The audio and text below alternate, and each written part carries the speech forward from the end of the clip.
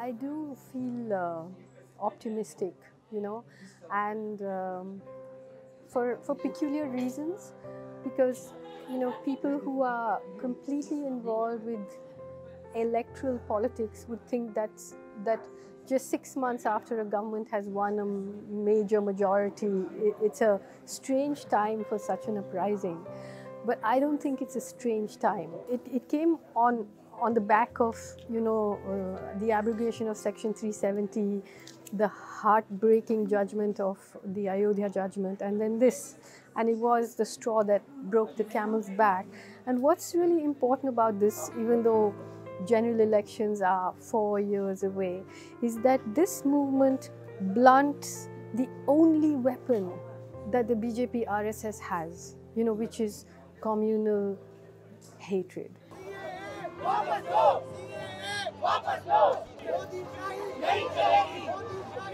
I think that now the genie can't go back into the box. You know, the, the Muslim population coming out, Muslim women coming out, young Muslim women coming out. This is a great thing, you know, because it's been so confected. How, uh, how can Muslims have a voice? So far, they've been pushed out of the media, they've been pushed out of uh, obviously the political, uh, the political arena. And the only people that were allowed to speak were people, Maulanas, and people who were furthering the kind of uh, right wing Hindu agenda. Now you have a plethora of Muslim voices, radical voices, women's voices, all kinds of voices, a range, you know. So uh, this is not, uh, you can see from the range of these voices that it isn't a organized movement, you know. There are slogans that come up which are uncomfortable for some people and not for others.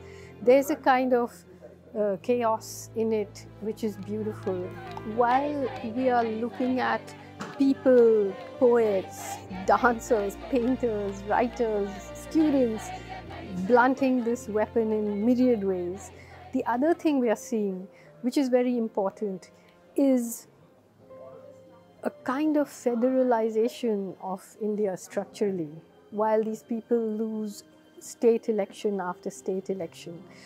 And so I, I feel it's very important for us to respect that federalism, you know, because I think that a kind of deep federalism is the only alternative to balkanization as you know and I know, the whole reason for the mobilization around NRC-CA is totally different in the Northeast, as it should be.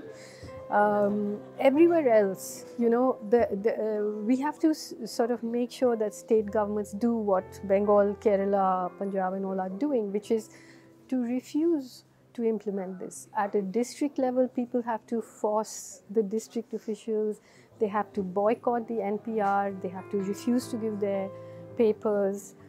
As a writer, does it fuel, fuel you with new ideas, new inspiration? Well, you know, um, I'm actually just writing about that now. And uh, there are two things that happen if you're a writer, you know. On the one hand, uh, it's, it's wonderful to be in these huge crowds, but I'm not such a one to address these huge audiences because to me, I feel that as a writer, I think the text needs to accommodate our complexity and our density against this oversimplification that fascism demands of us, you know? So that complexity and intricacy is not the space for a soapbox speech by me. So I just want to come out and say, Inqilab Zindabad, but you know, the writing, yeah, the writing happens in a more private space, but yeah, it's, it's exhilarating.